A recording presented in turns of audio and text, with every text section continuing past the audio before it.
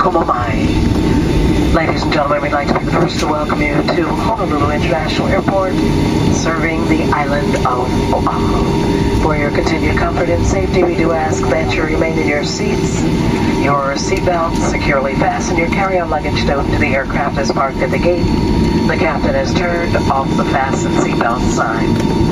At that time, we'd like you to check in and around your seating area. In the overhead bins or coat closet for any belongings you may have placed there when boarding.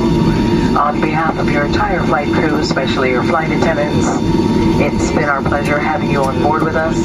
We do hope if your future travel plans call for air travel, that Delta Airlines and its codeshare partners may once again be of service to you. For those of you residing here in the Hawaiian Islands, we'd like to welcome you home. For those of you visiting, making any connections, have a safe and pleasant stay here or your final destination. Once again, mahalo nui for your choice of Delta. Aloha no, ahui ho, kako. Present time in the Hawaiian Islands, 46 minutes after the hour of 8. Mahalo to our men and women of our United States Armed Forces. We do thank you for your service, your sacrifice, your dedication. Make aloha, make pumehana. Welcome home.